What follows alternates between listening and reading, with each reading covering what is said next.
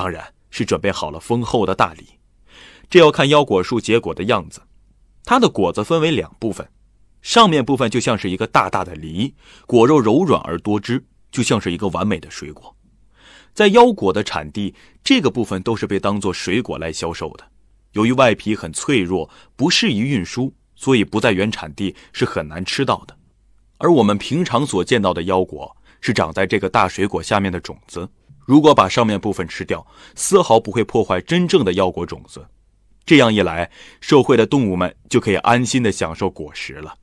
用一句话来形容，就是该吃的吃，不该吃的坚决不能吃。大自然是精妙的，在演化过程当中，种子也具备了与生态互动的能力，把果实设计成奖赏来吸引动物，调整策略。这正是种子的大智慧所在。别以为种子只有借助动物才能施展智慧，事实上，种子为了散播，已经掌握了十八般武艺。甚至能够跨地域和时间的限制，继续繁衍生息。第三部分，我们就来说说种子有哪些散播的妙招。作者指出，除了用果实对动物进行贿赂，请动物帮忙运输之外，种子还掌握了飞天、遁地、归西大法等技能。先来看飞天。提起种子的飞翔，你肯定首先会想到蒲公英、柳絮等等，但是。看看植物在不远的地方留下的绒毛，你就能得出结论：这种带降落伞的种子并不能算是飞行的高手。种子当中最擅长飞行的，要数乘风滑翔的藤蔓植物赤葫芦。这是一种产于东南亚热带雨林的瓜科植物，它的藤蔓能够攀爬到雨林的树冠上。当它像足球一样的果实成熟后，就会自动裂开，等到果肉风干。带有翅膀的种子就会透过果实下方的裂缝落下来，并用轻薄透明的翅膀在空中滑翔。翅膀两翼的最长端可达十二公分，豌豆大小的种子就安心坐在驾驶舱当中，滑行出几十米远。如果顺风的话，甚至还可以飘到海上。奥地利人伊戈·艾垂奇受到赤葫芦种子的启发，设计出一艘滑翔机，机翼的形状就和赤葫芦种子一样。为了解决操控问题，艾垂奇又加装了像鸟一样的尾翼，创造出具有动力、可以操纵的飞机，结果大获成功。这款滑翔机在第一次世界大战期间被大量制造，在军事方面发挥了很大的作用。除了普通的两个翅膀，种子还另辟蹊径，演化出单侧翅膀飞行能力，而且比滑翔的种子更为常见。比如白蜡树的种子就像一串串钥匙。枫树的种子本来是两片相连的双胞胎，起飞前就分开，一个种子一半。等等，单侧翅膀在演化当中出现了一个特征：种子越大，翅膀就得越大，这样才能散播。翅膀面积最大的要数巴西斑马木了，巨大的种子外面长着针刺，翅膀甚至可以达到三十公分长，这可是极具杀伤力的植物武器呀！一旦有生物被击中，伤势一定不轻。随着持续的飞行散播，族群发展的步伐相当惊人。在北美洲北部，科学家就探测到北美柱松正在往北移植。据测算，在北美柱松分布范围最北端，有些族群大约在一百年前才抵达。它们能够在一百年的时间行进七十公里，这对于植物来说简直是莫大的跃进。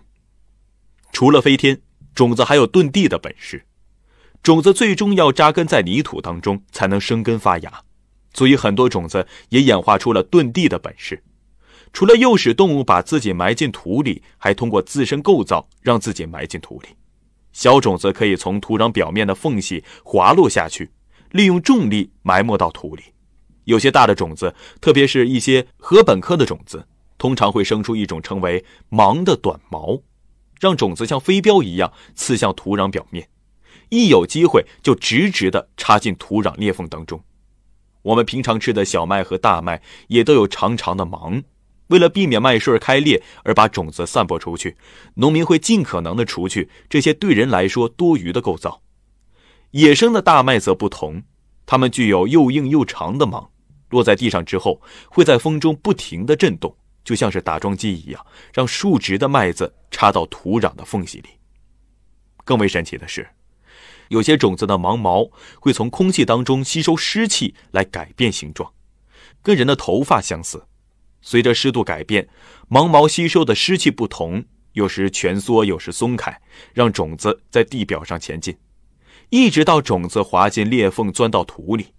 这时，芒毛的工作还没有结束，有些芒毛吸收水分之后卷得很紧，还有倒钩可以紧紧攀住裂缝的边缘，让种子钻到松软的土壤里。种子的本领除了飞天遁地，还有一种归西大法，更加令人称道。这就是休眠。处于休眠状态的种子关闭了新陈代谢，虽然活着，但几乎不消耗养分。如果说翅膀、芒等等都是种子跨越空间的工具，那么休眠就是种子跨越时间的工具。在我们脚下的土地里，塞满了各种各样的种子，日积月累，有的经历了数十年，甚至上百年、上千年。一九六零年，考古学家在阿根廷发现了一个古墓，发现里面有个古代拨浪鼓，它是用核桃壳做成的，壳里撞击发生的是美人蕉的种子。他们打开核桃核，取出一部分种子种上，结果沉睡六百年的美人蕉种子竟然成功发芽了。对于种子的记录来说，这并不算长。最古老的萌芽种子称号是由一颗两千年高龄的海藻种子获得的。在以色列马萨达宫殿的考古当中，考古学家发现了这颗种子。通过实验鉴定，结果发现它们被收集于两千年以前，在考古学家的抽屉当中躺了三十年后，一位农业学家抱着试试看的想法种下了这颗种子，结果它还真的发芽了，并且长大开花。结果，这不能不说是造物主的神迹。其实，种子的休眠技能也是物种演化的结果。如果让所有种子一起发芽，万一哪一年出现了大灾难，那么所有的后代都会死亡。植物如果不让部分种子休眠来分散开这种风险，就会被大自然淘汰。面对这种情况，植物也进化出让种子休眠的功能。他们会通过安排种皮的松紧程度来决定发芽的早晚时间。这种现象以一年生植物和其他寿命较短的植物最为常见。这也是园丁们哀叹的“结子一年，除草七年”的原因所在。野草在一年内落下的籽，会给你带来七年的新野草。总的来说，无论是飞天遁地还是休眠，都是植物为了繁衍后代而修炼出来的绝技，其中包含着对子女未来的期待和殷殷关切。当种子要离开父母独立生活的时候，父母早已经给他们准备好成长。应该具备的条件。说到成长，最后我们来说说种子萌芽的策略。种子发芽从汲取水分开始，首先是开始膨胀，接着胚芽部分开始生长。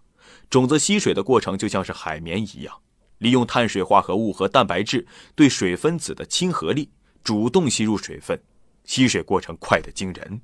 吸水发芽速度最快的是南非百乐花的种子。接触水分几秒钟之内，种子原本覆盖着茂密白毛的光滑外皮就会变得湿湿黏黏的，把种子粘在地表，既不会被暴雨冲走，也不会被蚂蚁吃掉。六个小时之后，膨胀的胚芽就能将种皮撑开，把根扎进土里。